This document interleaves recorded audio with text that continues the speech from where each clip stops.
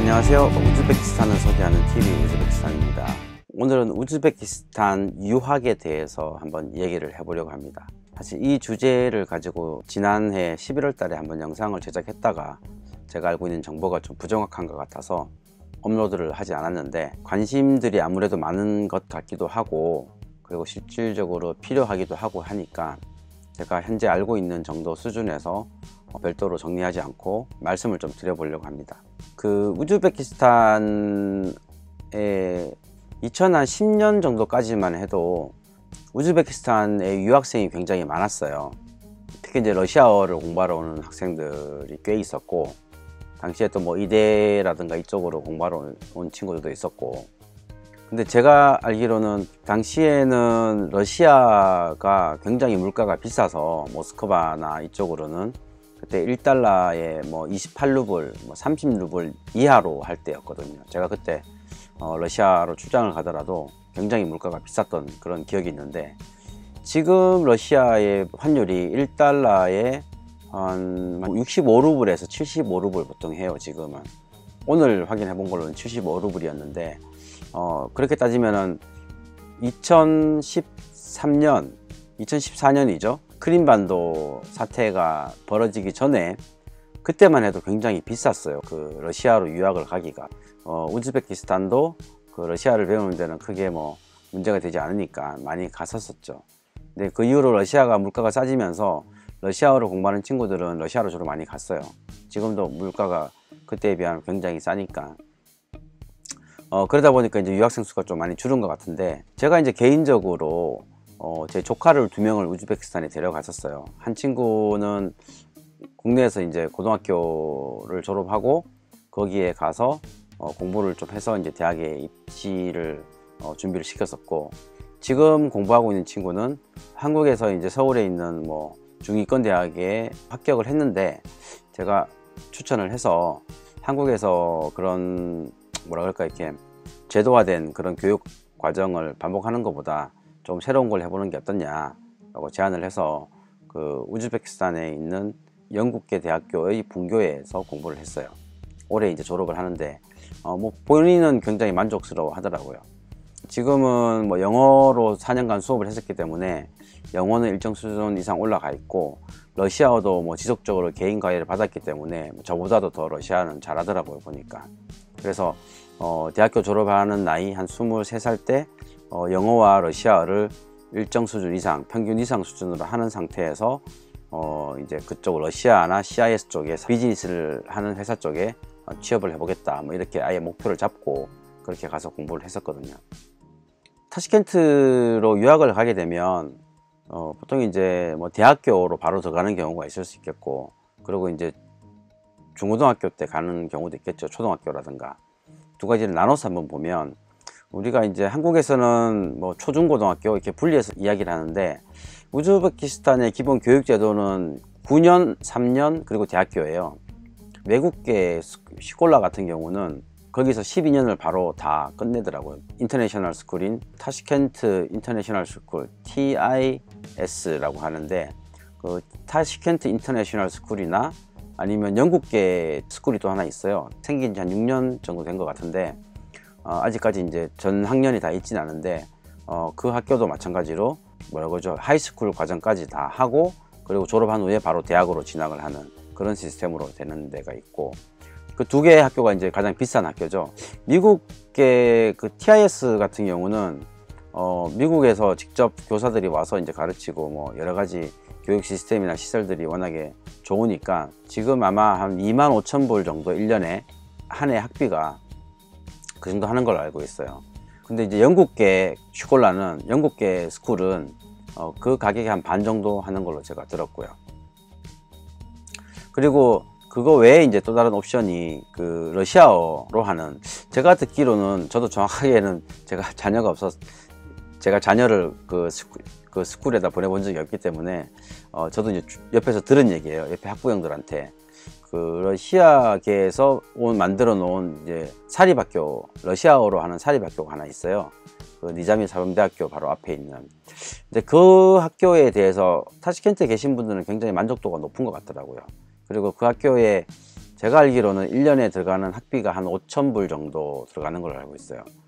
5천 불도 사실 작은 돈은 아닌데 TIS나 아니면 영국계 그 스쿨에 비하면 상대적으로 굉장히 싸니까 어, 그런 학비적인 측면도 있고 또 이제 러시아어로 수업을 하니까 러시아어를 거의 네이티브로 배우는 데는 더 좋은 환경이라고 생각하시는 분들도 계시고 그래서 어 뭐꼭 꼭 비용 문제가 아니다 하더라도 어떤 그 효용성 나중에 공부를 하고 난 다음에 어디로 갈 건지에 따라 가지고 학교를 선정하는 기준이 뭐 다르더라고요 보니까 그렇게 세 가지 학교 정도가 여러분들이 이제 초, 중, 고등학교 학생이 타시켄트로 갔을 때 선택할 수 있는 옵션이고요.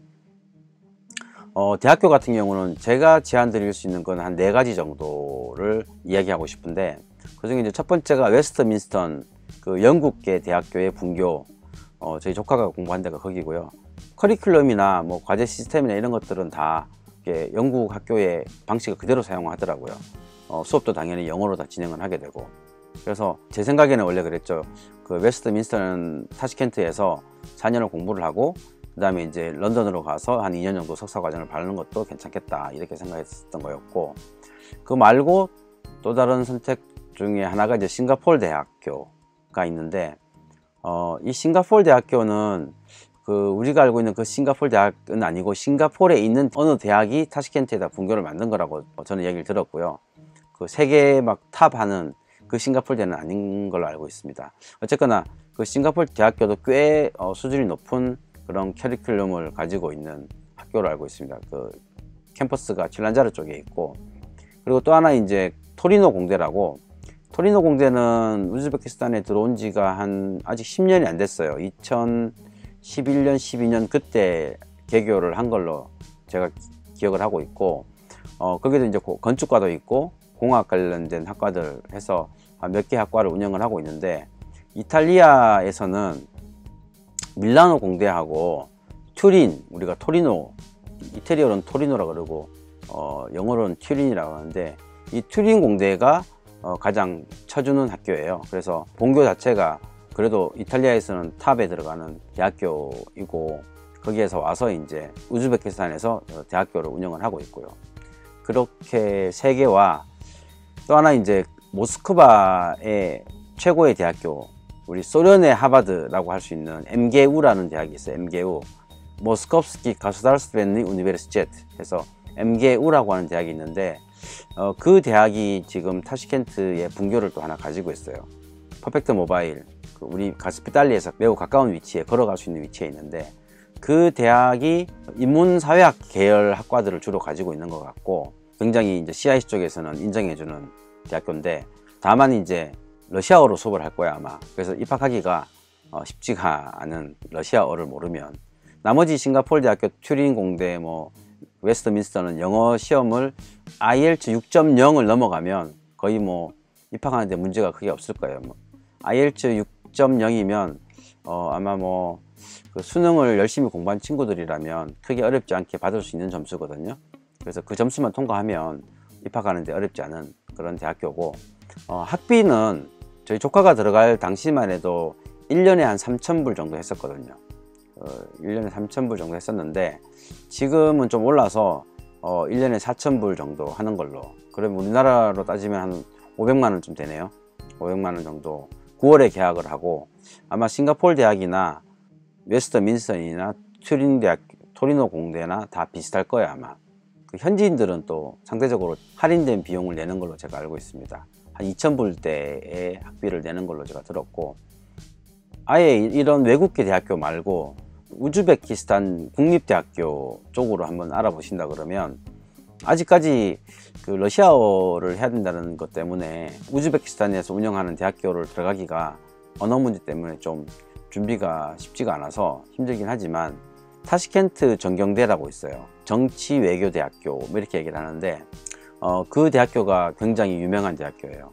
어, 총리도 여러 배출했고 어, 뭐 장관이라든가 외교관들 유명한 사람들 많이 배출한 대학교라서 그 타시켄트 전경대학교가 꽤 유명한 학교고 그리고 이제 타시켄트 경제대학교라고 그 지금 타시켄트 시청 바로 옆에 있는 그 대학교도 하나 있는데 거기도 뭐 그런 대로 경영학 쪽에서는 일단은 우즈베키스탄에서는 가장 쳐주는 대학이니까 거기에 들어가는 경우들도 좀 있고 그 외에 이제 뭐 언어 관련돼 가지고 뭐 세계 언어 대학교에서 뭐 러시아어라든가 영어를 배울 수도 있겠죠.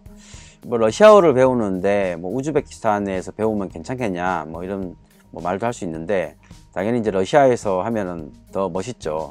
그 거리의 사람들이 다 러시아를 쓰고 러시아어니까 러시아에서 배우면 근데 뭐 반면에 어 타시켄트가 물가가 뭐 러시아에 비하면 반 정도 된다고 보면 반에서 한 3분의 1 정도 된다고 보면 비용적인 측면에서는 훨씬 더 유리하고 또 이제 러시아어를 어, 보편적으로 타시켄트에서는 많이 쓰니까 사용할 수 있는 기회는 충분히 있을 거고요. 그리고 러시아어가 좀 특별한 게 뭐냐면 사투리가 없어요.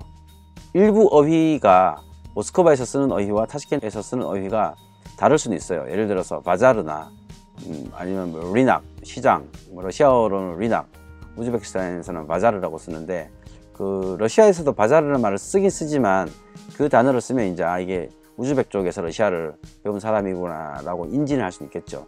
근데 뭐 그런 몇 개의 소수 단어들을 제외하고 나면 러시아어를 우즈베키스탄에서 배웠다고 해가지고 그게 티가 나거나 뭐 그런 부분 전혀 아니거든요. 그래서 뭐 세계 언어 대학 같은 경우도 괜찮고 그런 우즈베키스탄의 대학교들은 아마 등록금이 제 생각에는 1년에 한 2,000불 이하지 않을까 생각이 돼요. 그리고 이제 뭐 부모님들하고 같이 와서 어 뭐 школа를 다닐 경우에는 따로 생활비나 이런 부분을 고민을 할 필요가 없겠지만 만약에 이제 대학생이 혼자 와서 공부를 한다 그러면 이제 생활비 고민이 되잖아요 그러면 제 생각에는 대학교 근처에 있는 뭐 원룸을 구한다 그러면 한 달에 어 센터 쪽에서는 한 300불 정도 Turin 공대라든가 저기 뭐야 싱가폴 대학교는 약간은 센터에서 한번 벗어난 지역이니까 거기는 한 달에 200불에도 원룸을 구할 수 있을 거예요 아마. 그리고 생활비는 어, 만약에 공부만 한다 그러면 생활비는 한 달에 한 2, 300불 정도면 충분하지 않을까. 그래서 아껴 쓴다 그러면 한 달 생활비 500불로도 충분히 어, 살 수 있는 뭐 그런 어, 곳이에요 우즈베키스탄이. 조금 여유가 있게 쓴다면 한, 한 1000불 정도면은 학생들로서는 뭐 생활하는데 전혀 문제가 없는 그런 나라예요 뭐 한국에서 대학교를 음, 물론 가는 것도 여러 가지 장점이 있겠지만 만약에 이제 미래에 약간 인터내셔널한 비즈니스 환경에서 어, 일을 하고 싶은 생각이 있다. 특히 이제 한 3, 4억 명이 사용하는 러시아어를 그 러시아 경제권에서 어, 비즈니스를 하고 싶은 생각이 있다 그러면 그 우즈베키스탄에서 어, 유학을 해보는 것도 어, 괜찮지 않을까 어, 생각을 합니다. 저도 원래 꿈은 일을 어느 정도 해서 자리를 좀 잡아 놓으면 모스크바 MGU에서 러시아 문학을 한번 공부해 보고 싶다라는 생각을 했던 적이 있었거든요. 근데 그 꿈을 이루기 전에 뭐 경영학 공부하느라고 한 2년 동안 시간과 돈을 써버리는 바람에 지금은 여유가 없지만 나중에 한, 한 10년쯤 후에 어, 진짜 여유가 생기면 모스크바 MGU에서 루스카야 리테라투라를 한번 루스크유 리테라투르를 한번 공부해 보고 싶다라는 생각을 가지고 있습니다.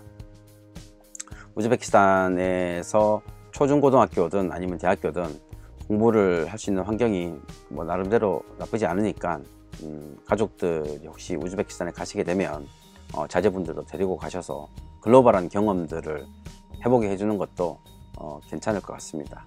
오늘 영상은 여기서 마치고요. 구독, 좋아요 부탁드리겠습니다.